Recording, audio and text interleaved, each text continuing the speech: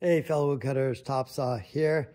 Today I'm going to go over a router inside the router table. This is specifically a Bosch router.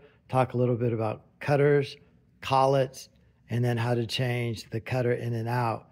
I thought I'd do it while the router was up out of the table so you could see what's going on. So to start with right here, this is your cutter. Don't ever touch any of these until you're completely unplugged and you checked it yourself.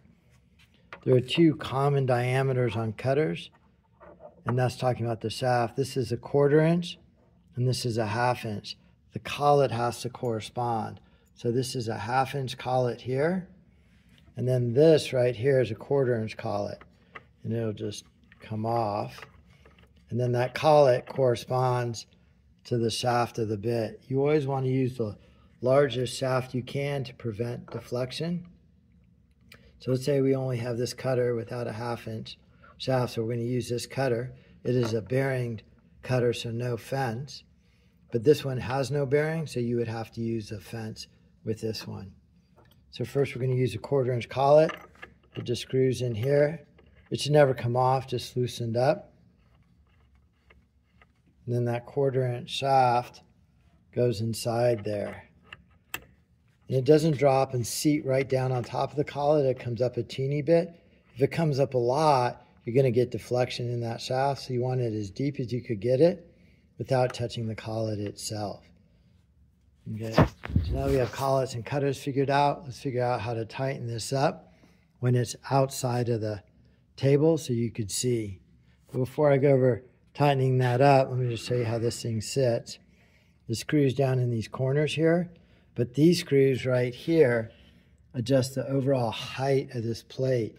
You want this plate to sit just a little bit proud of here. So when you run your material, it doesn't catch on this edge.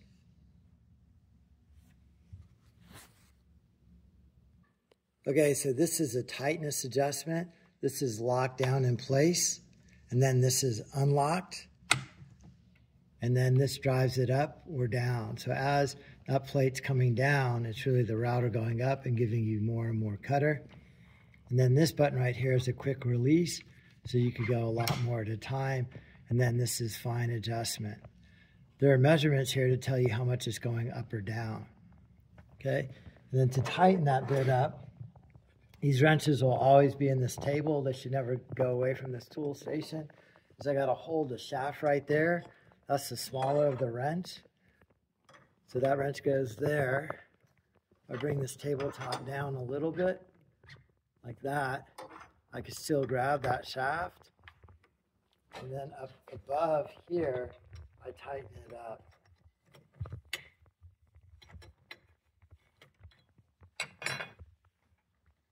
I'm going to tighten it to finger tightness.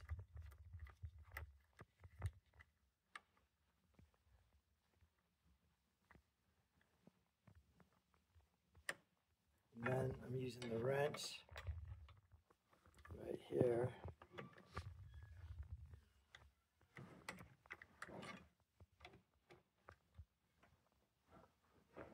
There's pretty good strength on there. And then that's it. And then from there, this thing drops into the tabletop.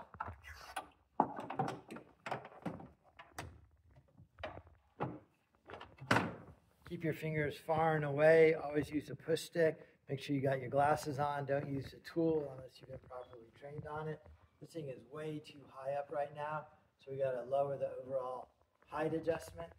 So again, to do that, I'm going to lower, open this lever up if you could see it. Open this lever up, and then bring this thing up or down accordingly. Okay, thanks for watching.